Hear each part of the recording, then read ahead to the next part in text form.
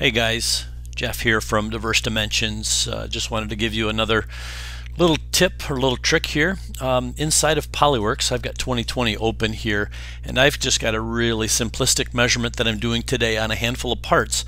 But what I want to show you guys is how we can do ballooned drawings inside of Polyworks.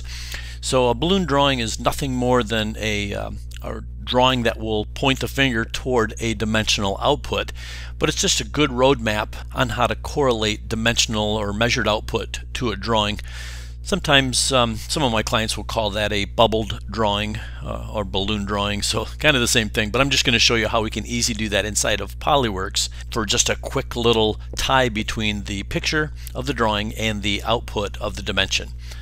So jump into here with me. You can see I've got a pretty simplistic measurement here. This, this part doesn't even have a CAD model. So if I go to the 3D scene, I'm just nothing there. But what I've got so far is I've got the drawing um, in inside of here. I've, I've pulled that in from their PDF, just did a screenshot of that, and I've got that here in my in my report.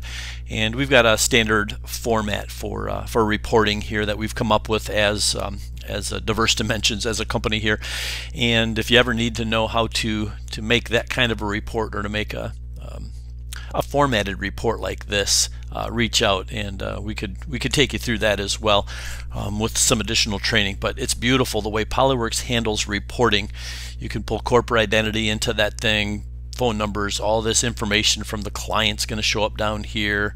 So this is a, a, pretty powerful reporting package all inside of Polyworks. But what I want to show you is how simple we can take this dimensional output from this drawing and just make a balloon from it. So if I've got this dragged in here, this little output picture from the drawing, if I right click, I can just create a text field. So once I grab this, you can see I can drag it around a little bit. I'll just put it someplace where I can see what I'm typing in there. And you can see my little box up in the corner here. I'm just going to say that hole is going to be called dim 1. So when I measure that hole, I'm going to have a dimension 1 as the output. So once I've got this into this, this text box, I can right click on him and I go to the font properties. And then I say, let's change that.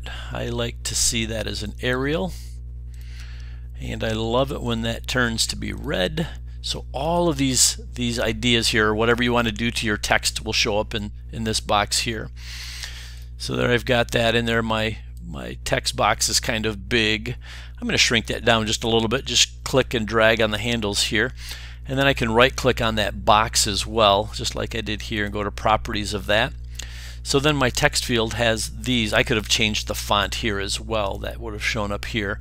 But I do like this alignment here to be in the center. And I do want a border on there that's going to be red as well. And say OK there. And then if I apply that, notice what happens. Everything's kind of centered and it looks like this. If I click out of it, you can see that box there. Click back in and you could drag it.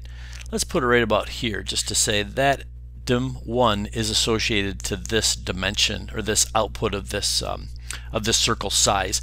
If you needed to have another dimension here, um, because really the client just needs this hole location and size from this trim edge, super easy.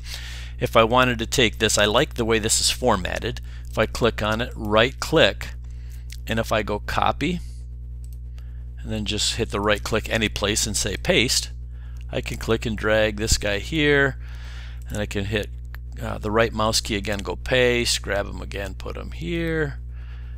So now I've got, I double clicked inside of there, and then I can change him to 2. Double click inside of there, call him dim 3. So now in my model tree over here, once I start to populate this with measured features, this hole location is going to be known as a circle. That's going to be dim 1.